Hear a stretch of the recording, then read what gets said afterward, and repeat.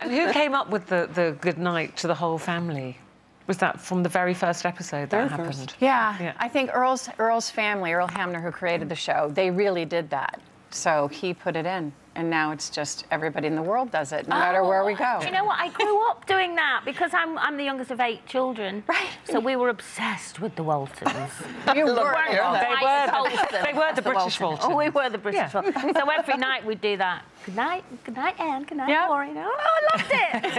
I wanted someone to be called John Boy. we, I miss, well, we don't miss each other so much because we see each other a lot, but um, sometimes it would be really nice to work together again. And we have a couple of times.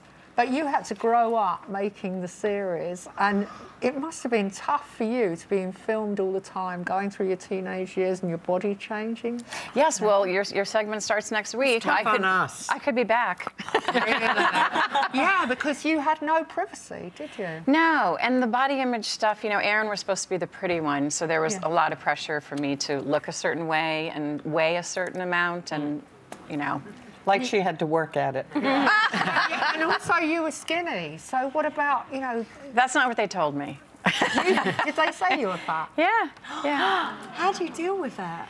Um, I I created a body image issue for myself and a lot of a lot of stuff, a lot of radical diets and starving and trying to fit in and be perfect, until I grew up and realized that there is no perfection in that way. Absolutely.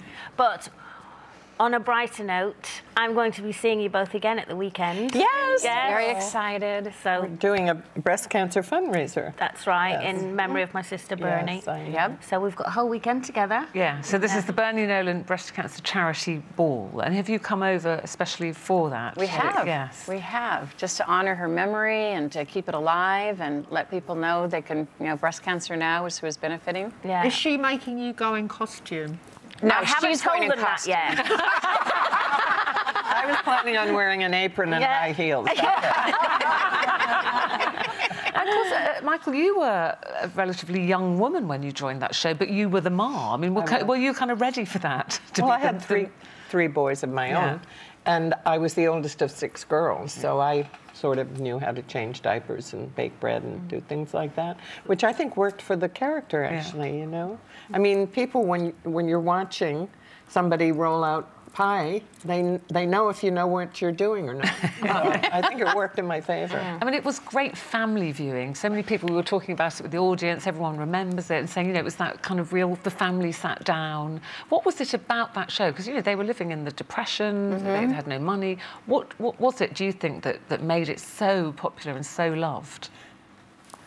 I, I think that it's something that was, has been missing in the world, and especially lately, where people um, are missing a sense of community, a sense of family, a sense of extended family coming together to support each other. And I think that is that forever is important. And we get away from it, and so the show reminds people that they want to go back to that. Yeah. And everybody can relate to it. They either wanted that family or they had that family. We have, I have people coming up saying, you know, I, I had a terrible childhood, so your family has shown, that show has shown me how a, a functional family could mm. operate. And other people who come up and say, I had a wonderful family, and your show make, brings back happy memories. So I think it mm-hmm. appealed to people on, on many levels. It was obviously a fictional family to you, but as a cast, were you friends? Did you get on? I mean, was it like a real family? Was there dysfunction and rows and coming back together? And... No, We can't we were- stand each other. We were close. We were very close, actually. She's my mama. And you know, there were times when Ralph and I would be pretty tired at the end of a day, and it would be a close up, and these kids would all make us laugh. I always had a breakdown at five o'clock every night. Yeah. I well, you would- wanted to I go would home to your start own laughing children. hysterically, and then I'd end up crying with my head on the table. She How did. often were you filming? Like, was it every day? Nine, yeah, nine months Pretty a year. much. Nine months a year? Almo- yeah, nine months a year, every day.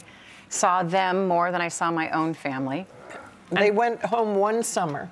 They went on hiatus, and they all came back about three feet tall oh, and with breasts and, and beards, and it was like it was a shock. It was a Yeah. suddenly a whole new family. But the show saved you, really, didn't it?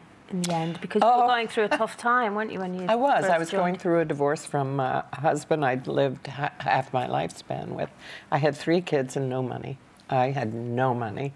And uh, I went to LA and stayed in a in a, a motel for twelve dollars a night with my Raggedy Ann doll and a bottle of bourbon, and uh, and huge boxes of Kleenex, because I cried all the time. I mean, it was really traumatic time. And then. Um, I had got, I had come to LA just to learn the freeways. I, I wasn't going to try out for anything, and my agent kept saying, "There's this part of a farm woman, and you have to go see about it." And I kept saying, I'm d- "I just did Private Lives in Cleopatra. I'm not a character actress yet." and he said, "You have to go." So I did, and then. It saved me. The rest it is really history, saved me. say. Yeah, It's it was like there was a hand on my shoulder, and I feel so be. grateful Yeah. to that. Yeah.